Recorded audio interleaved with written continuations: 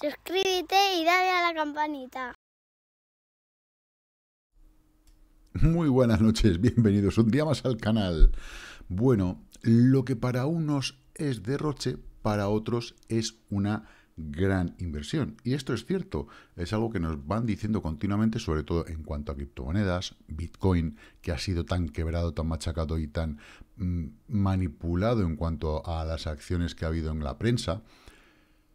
Y bueno, pues muchas veces eh, somos, eh, mm, en cierto modo, en cierto modo, eh, creyentes, Podemos querernos creyentes de Bitcoin, ¿vale? Sobre todo hay una, una rama que se aferra mucho a esa creencia.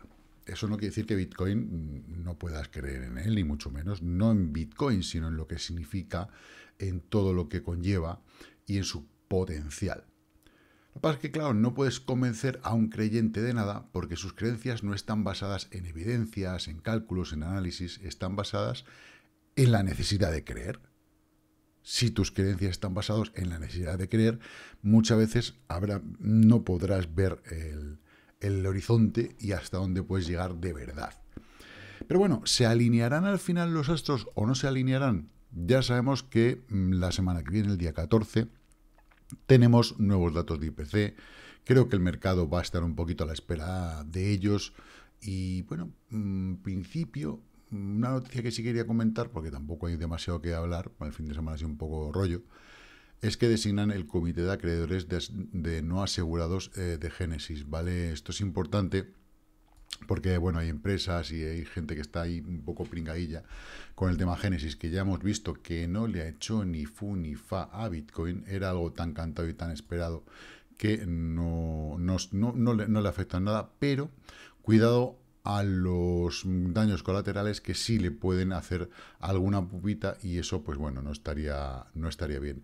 En cuanto a las aperturas mañana vamos a ver qué tal el SP500 ya que tuvo rechace en la zona de los 4.190 aproximadamente. Vamos a ver qué tal qué tal abre. Ya lo veremos mañana. Esto es algo que, que no nos interesa demasiado ahora mismo, pero Bitcoin sí nos interesa porque, bueno, está haciendo ese rechazo que hablábamos, sí que está perdiendo en 4 horas la zona de 50%, con lo cual aquí, ¿qué deberíamos esperar? Bueno, de por un lado, tenemos la línea superior de tendencia, por otro lado, tenemos también una línea inferior de tendencia, digamos que tenemos un canal RSI que estamos llevando, vamos a vigilarlo, la pérdida de este canal por debajo no sería nada bueno, ya os digo que no sería nada, nada bueno.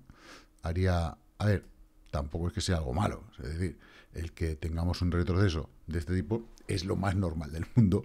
Y aparte que después de la subida que hemos tenido, fijaros el subidón, es que, claro, si nos vamos desde mínimos, estamos hablando, a ver, vaya hombre, estamos hablando de un 48%, es que es una barbaridad y que nadie espere tener un retroceso después de subir un 48%, pues oye, mm, no sé.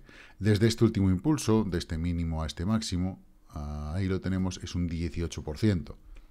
Ostras, creo que estamos dentro de un rango bastante, bastante normal. Ahora, ¿qué tenemos que vigilar? Tenemos que vigilar, por un lado, la línea de tendencia bajista, la descendente, ¿vale?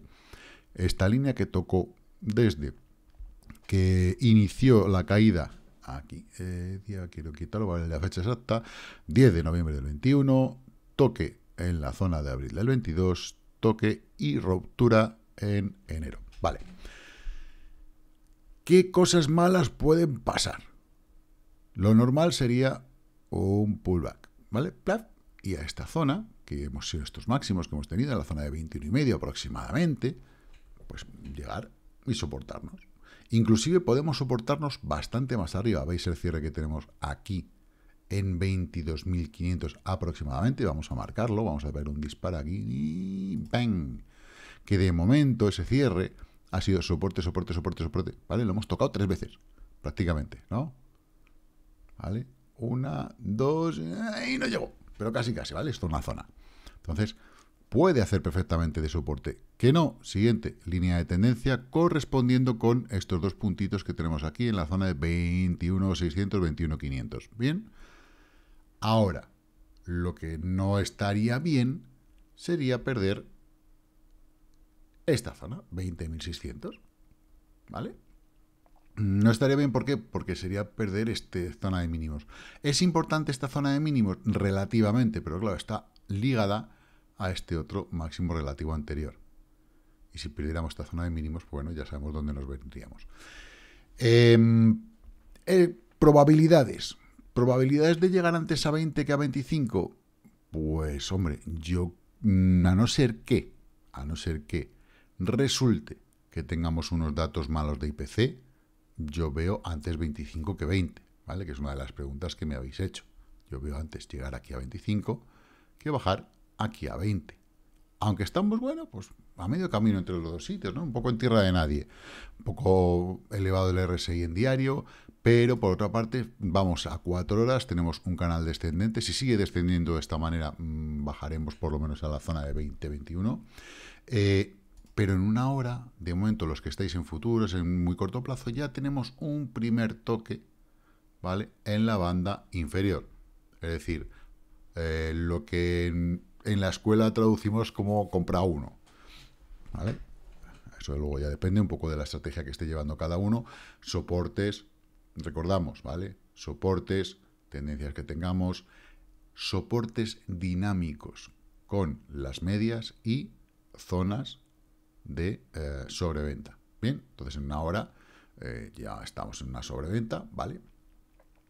Cuatro horas todavía nos queda bastante camino para llegar a una sobreventa. Si desde aquí no se produce un rebote e intenta ahora recuperar la zona perdida de 50, ¿vale? Bien, a partir de aquí cada uno va a poder ir tomando decisiones. En cuanto a Ethereum, bueno, pues ha tenido un día un poco pachucho, exactamente igual que Bitcoin. ¿Qué es lo malo de todo esto? Pues las velas que abrazan, ¿vale? Vemos las velas que abraza ahí Ethereum y vamos aquí a diario y vemos las velas que abraza Bitcoin, que, bueno, tampoco es que no es, no es, es un dibujo diferente, pero lo importante es que no pierda el cierre en aproximadamente 22.550, ¿vale? Más o menos.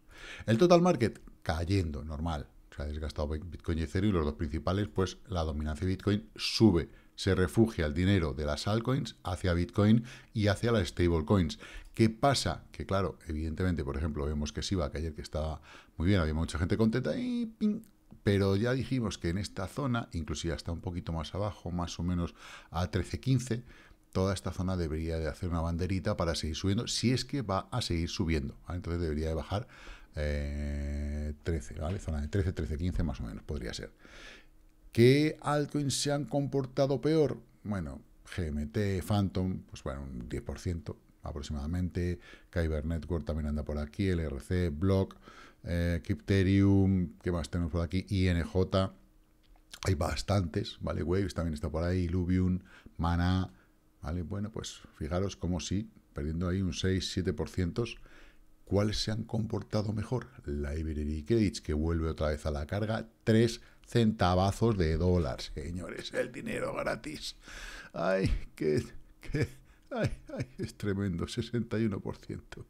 Ahí lo seguimos guardando. Bueno, FED, muy bien, 32%, ¿vale? Después de la paradiña que estuvo haciendo ayer, hoy ha decidido lanzarse, ha decidido romper otra vez RSI, plaf, eh, cuidado porque parará ya, es decir, yo no creo que vaya a pasar este máximo relativo, al menos de momento. Antes tendrá que hacer una banderita. Si es que no se desinfla y se nos viene abajo a lo largo de mañana o pasado, ¿vale? Tener mucho cuidado.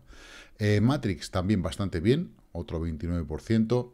Está en zona de resistencia completa. Tanto resistencia RSI, veis un toque, dos toques, tres toques. Y justo está en esta zona de apoyos antigua, ¿vale? Aquí, Que aquí es resistencia también. Entonces, bueno, tendría cuidado en esta zona. Yo creo que el movimiento más o menos ya está prácticamente hecho. Eh, los cortos de Bitcoin empiezan a retroalimentarse. hicieron una, intentona, vuelven a hacer otra.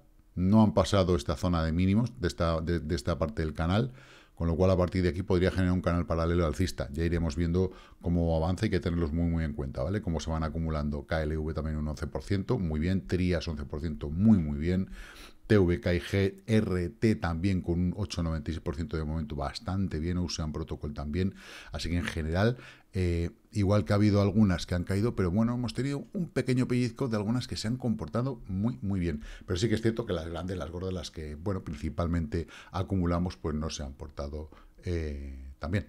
En el día de hoy, igual que ayer fue sábado, sábado, día de altcoins, hoy no ha sido ese día. En fin, eh, no vamos a dilucidar más, vamos a ver cómo abrimos la semana y qué tal se porta el día de mañana a partir de la apertura de los mercados en Estados Unidos. Creo que puede ser una semana en la cual va a haber un poquito de volatilidad debido a, mm, bueno, posibles noticias que salgan en la espera. Mm, no creo que vaya a ser tan lateral como al, al.